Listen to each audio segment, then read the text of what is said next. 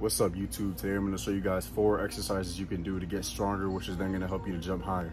The four exercises are box squats, calf raises, reverse Nordics, and um, half squats with a hold. So let's get to it.